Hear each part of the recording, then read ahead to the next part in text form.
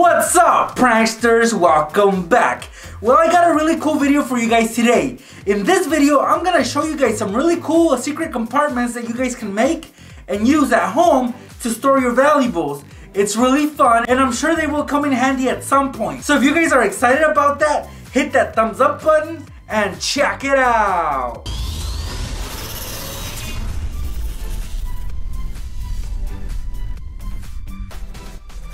You can make a secret safe using a container. Now right here, I have a tub of protein. Actually, this is a meal replacement and I have plenty of these at home. I have lots of these, so I don't mind messing this one up.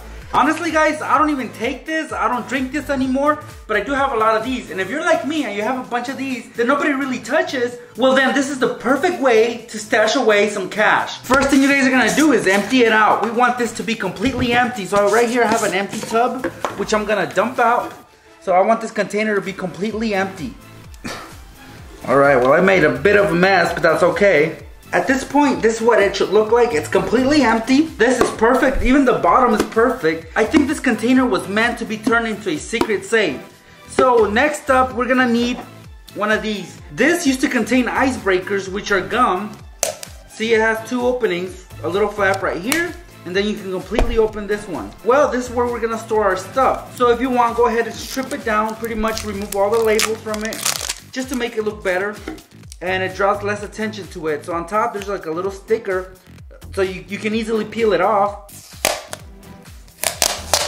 See?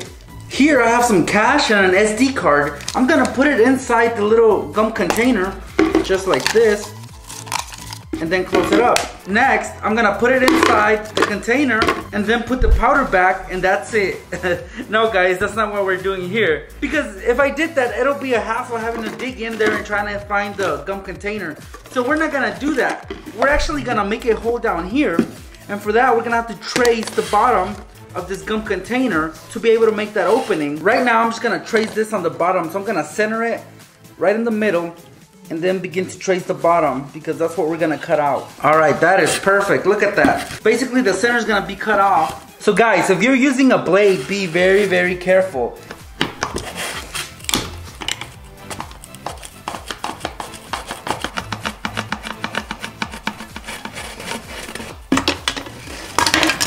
All right, we got that cut out. Look at that, perfection. Now we can slide this in. Of course, the little gaps there, we're gonna have to fill them in with some hot glue, which I got ready over there.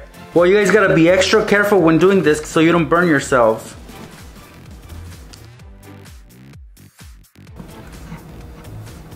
Now that it's all dried up, guys, look at it. See, now we can open it and have access to everything that's inside, such as our money, our SD card, or anything that you wanna put in there. Or you can also open up this little flap right here you know, if you want to get just a dollar, maybe something small. But that's it, guys. Look at the inside. Of course, we're going to put our powder back in there. So here's my protein. I'm just going to dump it in. And that is it, guys. Look, I'm just going to close it up. And nobody will be able to tell when they open this let's say if they even want to get some protein or, or a meal replacement, the inside doesn't look suspicious nobody would ever be able to tell that there's something there unless they turn it over and look underneath. But nobody really does that. But now let's say you stored $50 in there and you need them. Well, all you do is turn it upside down, open it, get your $50, just $50. See, the rest will stay in there. Close it up, put it back where it goes, and now you have yourself 50 bucks that you can use on whatever it is that you want. Simple as that. I totally love this hack right here. If you guys are just trying to store away a couple of bucks and you don't want nobody to find them, get yourself a Powerade bottle. Now you can also get a Gatorade bottle, but for this example, I'm using this Powerade bottle. First thing I'm gonna do is remove the label because we're gonna turn this bottle into something else. It's no longer gonna be a juice bottle. We're gonna make it seem less appealing to anybody. So we're gonna switch up the label. Next up guys, we're gonna take our money and put it inside a little sandwich bag this will protect it from getting wet. So we can fold it up just like this and put it inside this little sandwich bag. All right, so our money's safe. Now we're gonna turn this bottle into let's say a grease bottle so nobody goes near it. All I'm gonna do is wrap some tape around it. On it, I'm gonna write grease. And I'm gonna warn people, don't open. Just like that. So people will stay away from your money.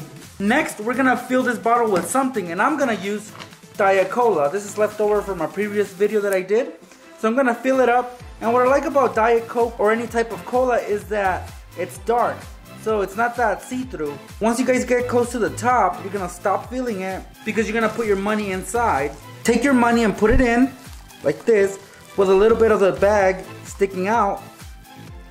Now once it's in, you're gonna apply just a little bit of glue on the bag so it sticks to the bottle just a little bit. That way when you open the bottle every time, the money's not gonna fall in. So that is perfect. And then we're gonna finish up filling up the bottle. Let's put the cap on just to seal everything in. Now all we do is just remove that excess plastic that sticks out. And that's it, pranksters, look at that. You guys can't tell if there's anything in there.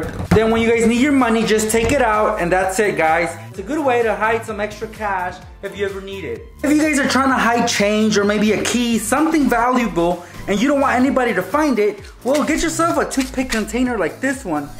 This one right here, I'm gonna empty out because this is where I'm gonna put all my valuables. And as you guys can see, all I have is change. So I'm gonna put some change in there. And I'm also gonna put a pair of spare keys in there. I'm gonna close it up.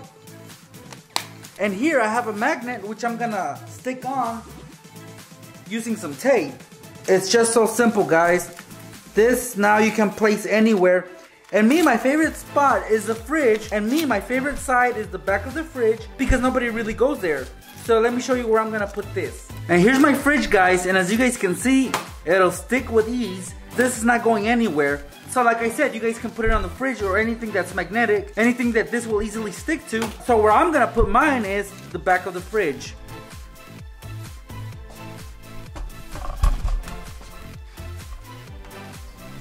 It's a bit dark back here, but that's great because nobody really checks out this side. So I'm just gonna stick this right there and that's it guys. And then when you need your change or your keys, you just go back there, get it, remove the cap, and take out what you need, such as these keys right here. Then put everything back,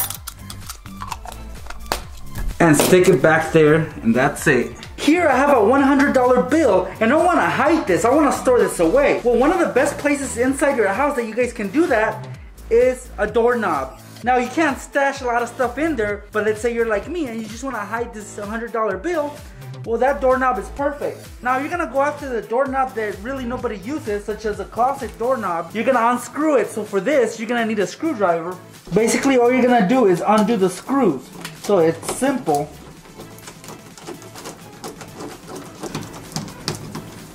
Well, I've loosened it up just enough to have this opening right here. There's just enough space to hide some money in there. So I'm gonna take my $100 bill and I'm gonna fold it about three to four times. Just like this. And then I'm gonna slide it in the doorknob. And then I'm gonna tighten the screws once again.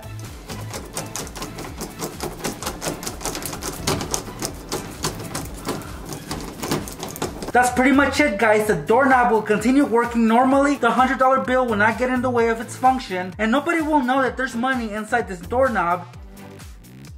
So let's say a few months go by and you happen to need that $100 bill.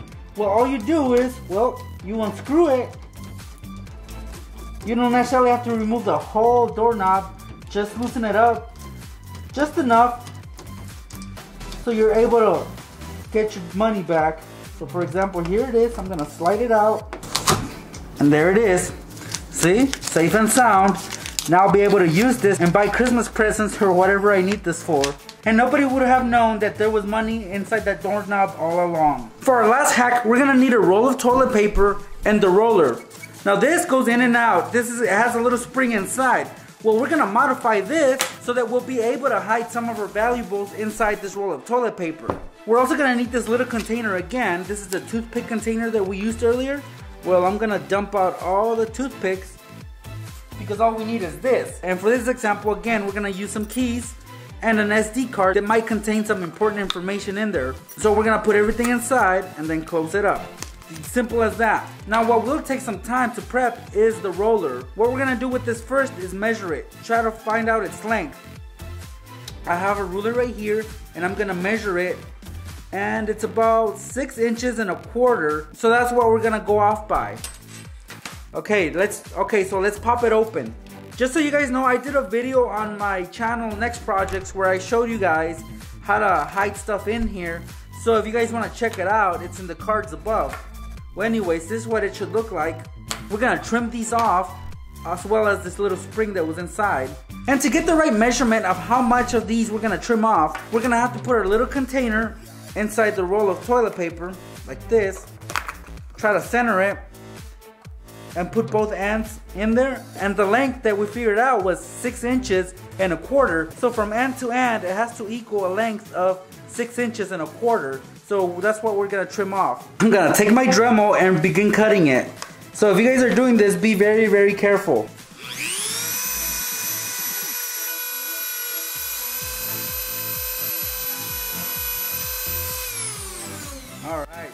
Perfect. Look at that. I'm gonna sand this off just a little and then glue it on one end of that container that contains our valuables. I'm gonna apply a bit of glue around the edges.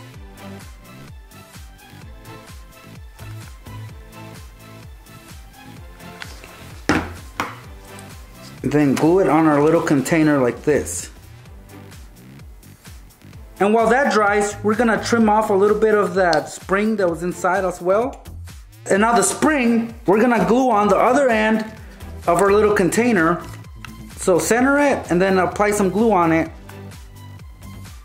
Of course, we're gonna let this dry and finally we're gonna trim off the other end.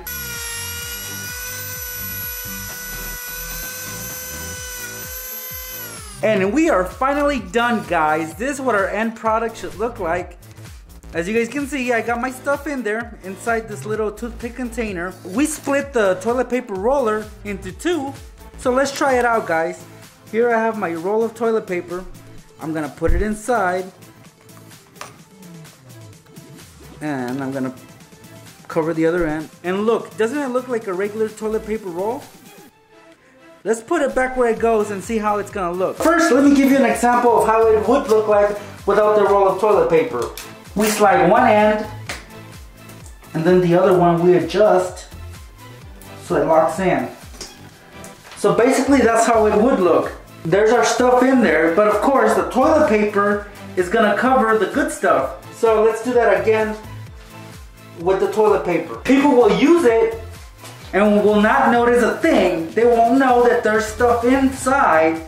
Now guys, you might think that this is a stupid idea, but it really isn't. Just make sure that the toilet paper is always full. So let's say you needed that SD card that's in there. Well, all you do is come into the bathroom, undo it,